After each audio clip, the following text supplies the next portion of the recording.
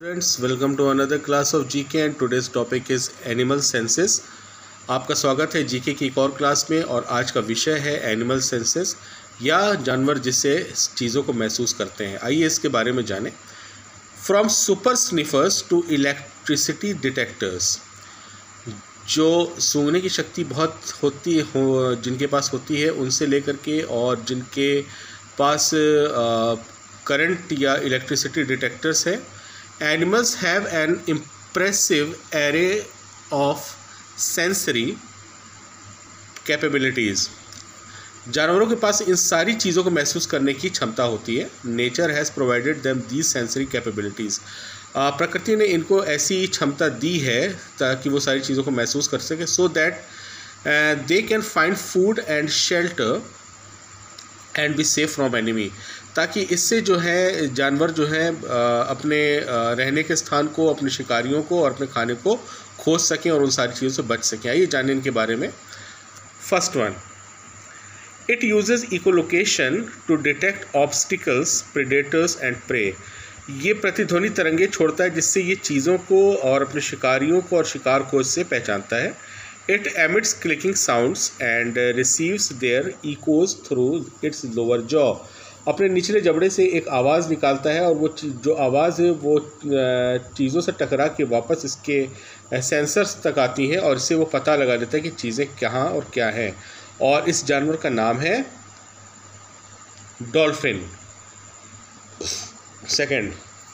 It uses the whiskers on its face to ascertain whether it can pass through a particular space. ये अपने चेहरे के उन मूछों का इस्तेमाल करता है और इससे पता लगाता है कि इससे के पास से कौन सी चीज़ गुजरी है किस या उसके आ, कौन सी चीज़ के पास से गई है। Whiskers on its four legs help to get information about the captured prey अगले पैर के पास जो इसके जो आ, कहा जाए कि बाल होते हैं, उस, ये उसके वहाँ पे वो सेंसर्स का काम करते हैं और शिकारी को शिकार को पकड़ने में इसकी सहायता करते हैं और इसका नाम है cat third its eyes can move independently independently hence it can see in two different directions इसकी आँखें अपने पूरी तरीके से इंडिपेंडेंट है, वो पूरी आँखें इधर से उधर घुमा सकता है किसी भी डायरेक्शन में simultaneously without turning its head अपने सर को बिना पीछे घुमाए या इधर उधर घुमाए अपनी आँखों को वो पूरी तरीके से वो घुमा लेता है। This helps to keep track of predators and prey और इससे इसकी मदद मिलती है अपने शिकार होने से बचने के लिए और अपने शिकार को पकड़ने के लिए। और इसका नाम है chameleon.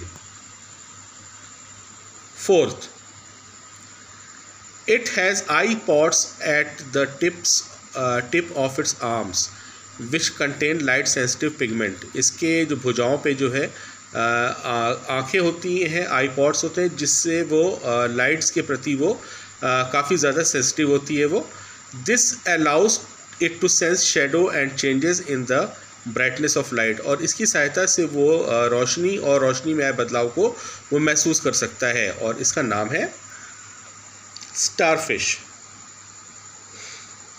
Fifth, it has special hairs on its feet. इसके पैरों के पास खास बाल होते हैं that help it to taste जिससे वो स्वाद महसूस कर सकता है। When it sits on a flower its feet tell it whether it should drink from the flower और नॉट और जब वो किसी फूल पर बैठता है तो वो पता लग जाता है इससे कि इससे वो रस पिए या ना पिए। और इसका नाम है बटरफ्लाई, तितली। Six tail has almost no fur and acts as an organ of touch इसके पूंछ पे लगभग कोई भी बाल नहीं होते। Its snout has many sensory nerves लेकिन उसकी जो थूथन जिसे कहते हैं मुँह की तरफ़, जो आगे की तरफ़ निकला होता है, उसको उसमें बहुत सारी नसें होती हैं and hence is extremely sensitive to the minutes difference in touch and texture और इस सेंसर्स की वजह से वो थोड़े से थोड़ी भी चीज़ों को वो तुरंत महसूस कर लेता है और इसका नाम है mole. Your next topic is marine life समुद्री जीव या समुद्री जीव जितो रहते हैं उनके जीवन के बारे में। Let's read about this creatures living in the sea have different shapes समुद्र में रहने वाले अलग अलग आकार के जीव जंतु पाए जाते हैं। साइज़ एंड कलर्स अलग अलग रंगों में और अलग अलग आकार में। They are well adapted to their surroundings और ये सभी जो है अपने आसपास जो रहते हैं, उसमें अच्छे से ढल ढल जाते हैं, रहने वाले ये जीव हैं। For example fish are adapted to live in icy waters और मछलियों ने अपने आप को बेहद ठंडे पानी में भी जीना सीखा है।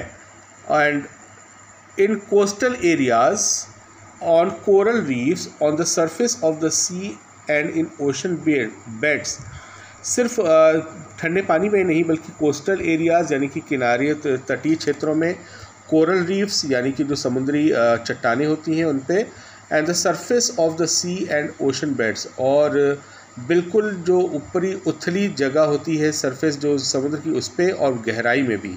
आइए जानिए इन सभी मरीन जीव्स के बारे में।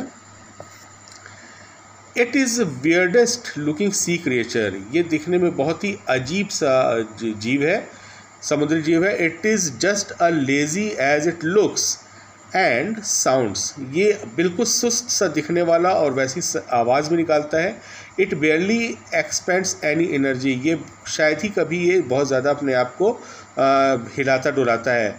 Even while eating it only gobbles up whatever just happens to be floating by इसे जब खाना होता है तो वो सिर्फ़ अपने मुँह को चला लेता है और जो भी तैरती हुई चीज़ के पास से जाती है और इस तरीके से ये भोजन करता है और इसका नाम है, ये देखिए ये जीव है, बिल्कुल दिखने में अजीब सा है और इसका नाम है blob fish. Second this strange creature is found at the Great Barrier Reefs ये अजीब से दिखने वाला जीव जो है, ये ग्रेट बैरियर रीफ्स पे पाया जाता है लिजर्ड आइलैंड जो लिजर्ड आइलैंड है, उसके पास it lives in a tube ये एक ट्यूब नुमा जगह पे रहता है। It can withdraw its tree like crowns और इसका जो शेप है, बिल्कुल से जब कोई इसे छेड़ता है तो अपने आप को बिल्कुल पेड़ जैसा बना लेता है। Its spiral branches are actually its breathing and feeding apparatus इसकी जो रीढ़ वाली जो हड्डी होती है, वो एक्चुअली असल में वो सांस लेने के लिए और खाने का साधन है, वो तरीका है वो उसका, वो और इसका नाम है क्रिसमस ट्री वर्म ये देखिए। क्रिसमस ट्री वर्म ये है। Third it has flamboyant coloration all its colour come from the soft part of its body ये एक कलरफुल जीव है, समुद्री, और ये सारे जो इसके जो कलर्स हैं, वो इसके शरीर के एक बिल्कुल सॉफ्ट पार्ट से आते हैं which envelops its shell unless it is threatened और ये अपने शेल के अंदर चला जाता है, अगर इसे कोई छेड़ देता है। और इसका नाम है फ्लेमिंगो टंग स्नेल ये है। Fourth it is found along the southern west coast of Australia ये ऑस्ट्रेलिया के सदर्न वेस्टर्न कोस्टल या तटीय क्षेत्र पाया जाता है। इट यूजेज इट्स फिन्स ये अपने पर, पंख मतलब जिसे तैरता है, उसका इस्तेमाल करता है। Not only to propel its self through water न सिर्फ़ बल्कि पानी में तैरने के लिए बट ऑल्सो एज कैमोफ्लॉज बल्कि अपना रूप बदलने के, बिल्कुल अपने रंगत को बदल देने के लिए it resembles a piece of drifting sea weed ये बिल्कुल अपने आप को सी वीड के रूप में बदल सकता है। और इसका नाम है लीफी सी ड्रैगन ये देखिए। Fifth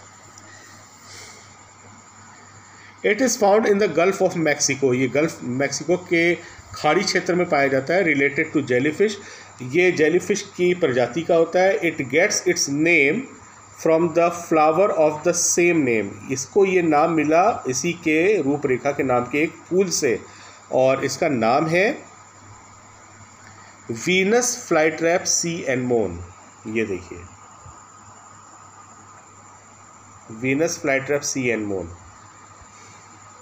last it tends to like a hovercraft दिखने में ये होवरक्राफ्ट के समान होता है। वैन इट्स मूविंग अलॉन्ग जब वो चलता है it's exclude it excludes a poisonous toxin from the mucus और ये अपने शरीर से एक, तरल चिपचिपा और जहरीला पदार्थ छोड़ता है अपने त्वचा से। It tends to make a very distinct grunting noise when it is captured और जब ये पकड़ में आ जाता है तो ये अजीब सी आवाज़ अपने मुँह से निकालता है। और इसका नाम है, ये देखिए, इसका नाम है long horn cowfish so that's all for today study I hope you all well understand thank you and have a nice day God bless you all